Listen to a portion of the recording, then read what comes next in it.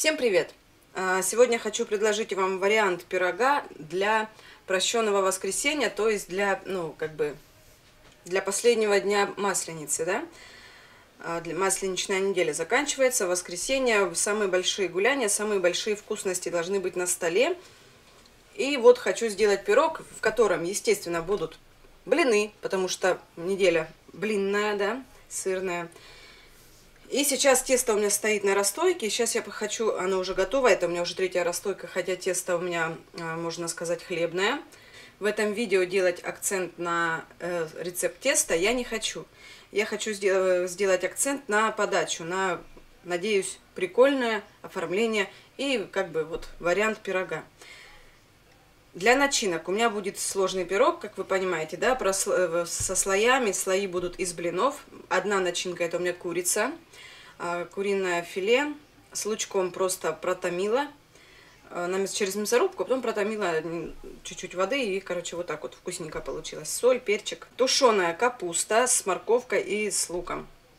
Также соль, перчик, все начинки у меня, в принципе, соленые, кроме вот этой, да? Яйца я, у меня пока что целые, я просто не знаю, сколько у меня пойдет, буду смотреть, чтобы лишних не натереть, чтобы они не оставались. И соус бешамель для того, чтобы пирог не был сухим, а все-таки был сочным. Соус у меня еще горячеват, еще вот так вот, я его, э, по-хорошему его нужно накрыть в контакт и остудить, да, чтобы не было комочков. Но поскольку я буду его прямо сейчас использовать, я его так периодически помешиваю, чтобы он быстрее остыл. И по возможности, чтобы не по... пленка не появлялась на поверхности. Да? Соус бешамель у меня есть на канале, как я готовила. А, ну, а в принципе все остальное как бы по желанию.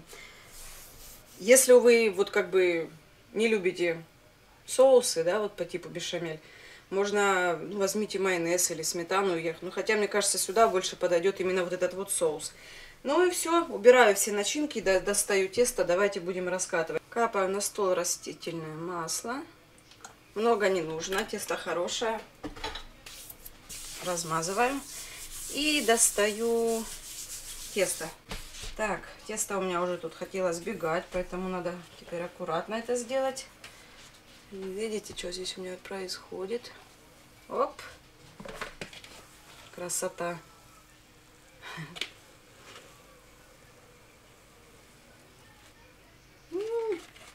Гляньте. Запах в чашке уже очень даже пьяный. Прям, прям выигралось тесто. А, делю на части, да?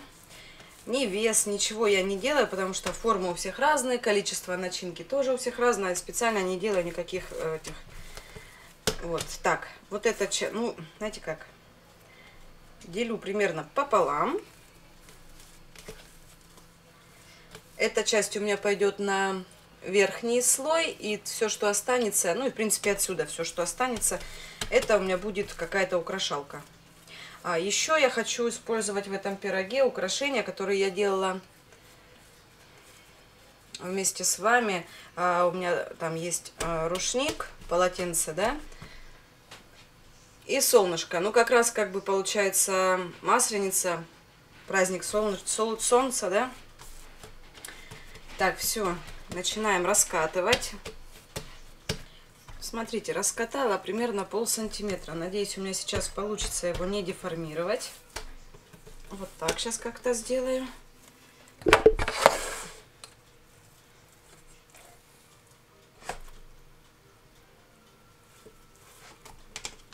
Так.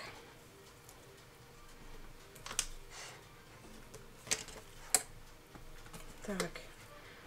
Опускаем, делаем форму, запуски делаем, чтобы оно прям легло, чтобы в углах тоже было тесто, потому что оно потом, ну, как бы, будет слишком тонкое в углах и будет некрасиво или порвется.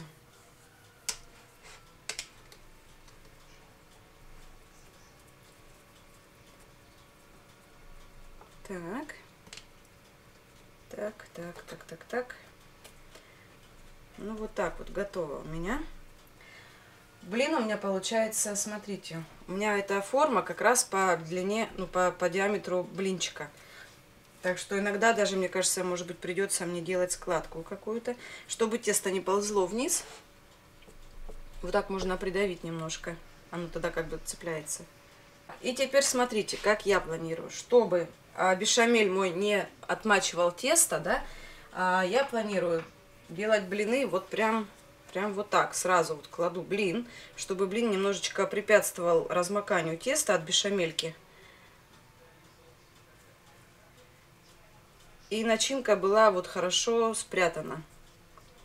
Так, теперь кладу первую начинку. Это, эту я хочу сделать а, мясную начинку, чтобы мяско было первым, вернее нижним, потому что оно более плотное, да, и так мне будет проще, чтобы слои потом при разрезе не, не падали, не сминались.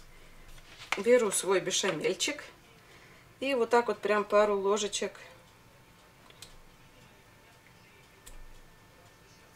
чтобы было сочно.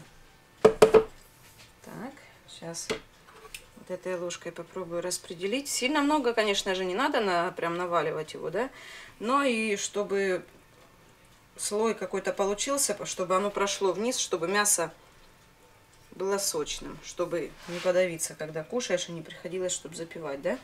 Вот так вот, я думаю, будет в самый раз, надеюсь, по крайней мере. Теперь у меня будет слой капусты. Вот так, всю, всю и сюда я положу.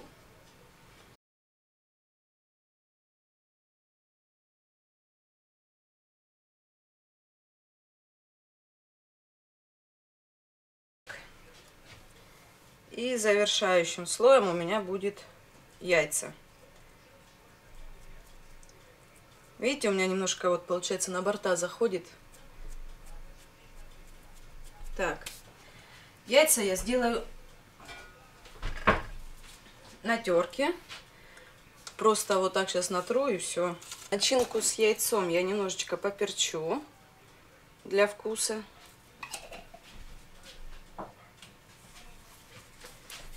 Посолю чуть-чуть, потому что бешамель соленый, но чуть-чуть надо как бы, да? Так.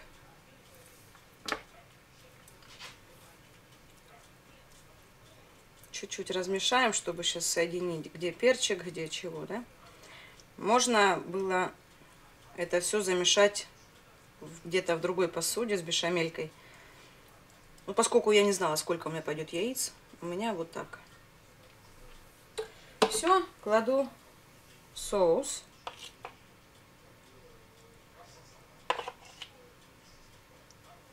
Сейчас.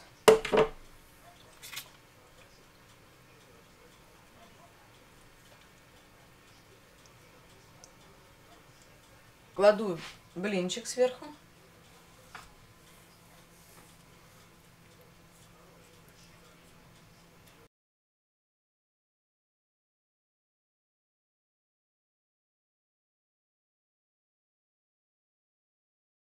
Так, теперь надо раскатать пласт, который мы оставляли.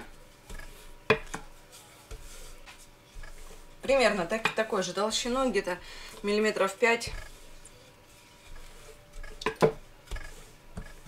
Так, раскатала. Сейчас быстренько перенесу его. Оп. Ой, куда ты, куда ты? Оп. Так. Угу. Так, лишнее подрезаем.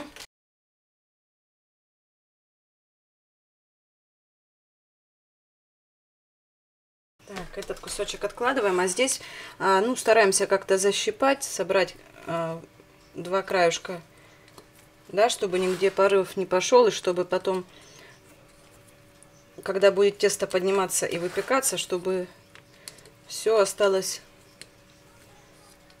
внутри и никуда не делась. Вот так вот оно, видите, вот здесь вот. Так. Ну, вот такая вот у меня получилась штучка. Промажу ее сразу лизоном, чтобы она, во-первых, не подсохла, а во-вторых, чтобы она не подсохла, как я умею объяснять, да? Все, пускай, этот, э, пускай она стоит на расстойке. Я сейчас немного, мы сейчас будем клеить к этой поверхности наши украшалки. А с украшалками мы что придумаем? Наверное, я хочу сделать бордюрчик.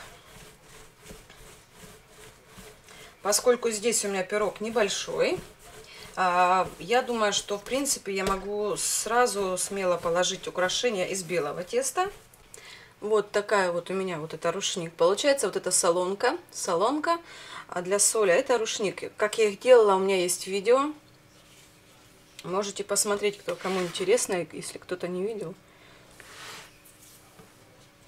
Ну и, соответственно, рушник я буду где-то оформлять вот здесь, да? Да, вот так. Вот так. И еще у меня есть вот такое солнышко. В том же видео я его делала, такое хорошее, наивное детское солнышко. Так, и хочу я его так сбоку. Вот так.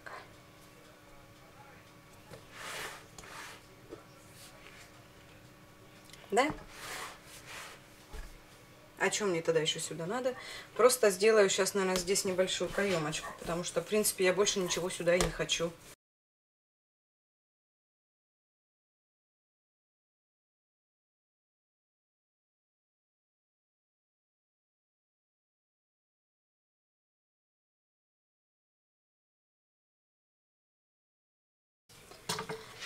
Так, делаю просто вот такие вот насечки. Тут оно уже немножечко хочет все прилипнуть, вернее, немножечко. Ну, надеюсь, что будет... И вот потом вот так вот просто завожу сюда. Ой, склеилась.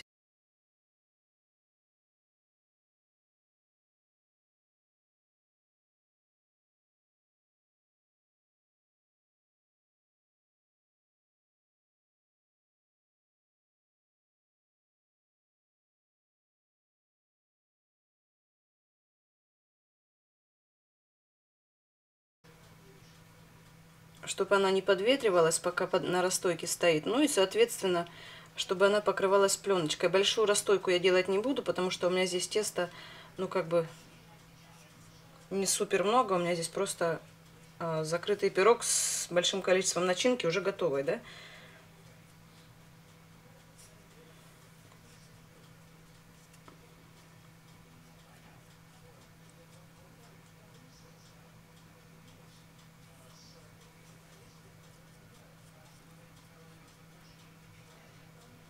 Тесто у меня настолько хорошее, что я думаю, ему будет достаточно и а, примерно 15-20 минут для расстойки. И знаете, как я еще хочу сделать? Вот это вот место, где у меня якобы идет орнамент на рушнике, тоже его немножечко промажу, чтобы он цвет дал. Но он же как бы вышивка, а вышивка другого цвета. Вот так вот я придумала. Все, сейчас минут 15-20 жду. И отправляю в духовку. Духовку разогреваю на, до 180-200 а, градусов. Смотрите по своей духовке. У меня верх-низ на среднем уровне. Ну, наверное, как, не, на, не совсем на, на двоечке, короче. Вот на чуть-чуть ниже среднего уровня поставлю, потому что пирог достаточно высокий, чтобы дно верх не горел. Ну вот смотрите. Вот такой вот он у меня получился, на мой взгляд, очень даже симпатичный. Такой, не знаю, как его назвать, наивно-детский, что ли. Ну, не знаю, мне очень нравится. Такой искренний какой-то получился, как мне кажется. А, Где-то чуть-чуть, вот здесь у меня чуть-чуть больше поднялась ша, шиш, э, шишечка, да, пошла. Здесь, ну, как бы есть какие-то вот такие вот неровности, которые не, не дают свою неидеальность. И в силу этих неровностей получается, мне кажется, очень даже классно. Смотрите, о чем вот... А, видите, как он подрумянился, мой полотенечко? И солнышко тоже, в принципе, зарумянилось. Оно, конечно, видно, что оно из белого теста. Но все равно кое-где такое прям зажаристая. И вот эти вот пузыри, вот получается вот э, белое тесто, когда, да, если его вот так вот запекать, оно идет пузырями, вот как, как типа чебуреки. Вот вот эти вот зажаристые штучки, это вот и есть те самые пузыри воздушные. Вот что, а если вы хотите, чтобы он остался чисто белым, лучше вот этими, э, лучше его было положить уже, ну, хоть не знаю, за полчаса до готовности, он, потому что он большой, ему ну, как бы нужно время для того, чтобы он был не сырым, как бы тоже, да, поэтому полчаса ему бы хватило, чтобы пропечься. Поэтому и смотреть нужно, на каждом э, каравайчике идет индивидуально. Если для солнышка хватило бы 15-20 минут для запекания, да, за 15-20 минут до готовности его можно было смело как бы ничего, он бы пропекся. А рушничок ему нужно побольше времени. Но, в принципе, вот он у меня выпекался, у меня каравай 40 э, минут, ну вот, конечно, подрумянились мои эти украшалочки немного. Но, в принципе, все, мне кажется, в меру так довольно-таки симпатично получилось. Ну, смотрите, не выдержала я. Разрезала его еще, будучи он тепленьким. Ну, немножечко замины пошли. Ну, так, незначительно. Посмотрите, каких размеров у меня получился пирожище. Прям это просто. Верхний корж э, сильно поднялся, как видите, да, такой сантиметра полтора стал. Если вы видите, да, тесто, ну, хлебное тесто, но оно такое, в нем достаточно много жиров было, но оно соленое. И оно пористое получилось, оно еще до сих пор прям теплое-теплое. Снизу мелко пористая, сверху крупно пористая получилось. Ну, не знаю, мне нравится, я на вкус попробовала кусочек теста. Тесто очень вкусное. Так что вот такой вот у меня пирог получился, слоеный, с блинами, а, с солнышком. Надеюсь, вам понравилось, позитивное. И если так, если вам зашло это видео, ставьте мне лайки, подписывайтесь на мой канал, делитесь этим видео со своими друзьями. Мне будет приятно. А, всем спасибо, всем пока, всех еще раз с праздниками и всем хорошего настроения.